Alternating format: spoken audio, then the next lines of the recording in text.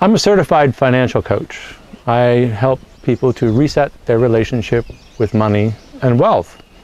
So most often I have clients who come to me with a very specific goals and aspirations around money and around how they want to live an abundant life. So my work is to clarify their goals and to help them prioritize their next step actions.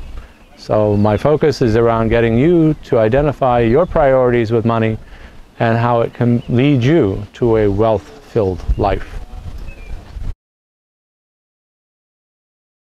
If you happen to have issues around distortions around what wealth is in your life, around how money is more effective for you, and if you feel like you're not getting the kind of results from the money that you have right now.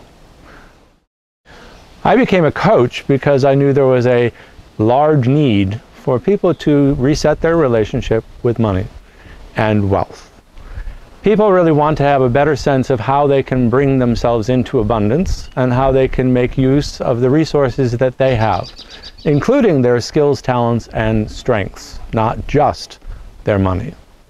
I try to help people look holistically at their entire life and to shape the life that they want, knowing that money is only one component of that. Gay men will often have difficulties around money in a number of ways. Upbringing leads to distortions around relationships, and money is a relationship. So, many gay men either spend too much money they get fearful about what they're doing with their money, or they feel that they don't know how to handle it. They've just sort of lost sight of what, what means to manage your money effectively. All three of those are areas that I specialize in and work with.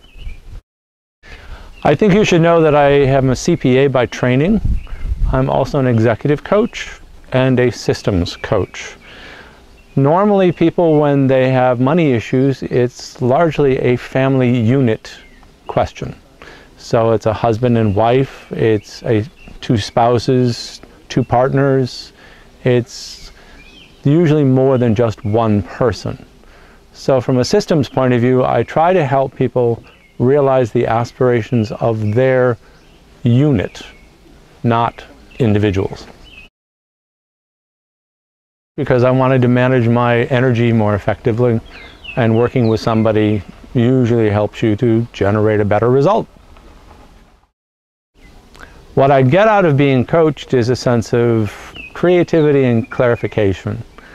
I'm usually much happier to bounce ideas off somebody else, to second guess my defaults, uh, to manage to look at my biases more concretely, and find more ways to get things done. I have become more wealthy in my life in almost every dimension and I find it interesting that my skills, talents and strengths become a little bit more easy to access and that's mm, most of the battle.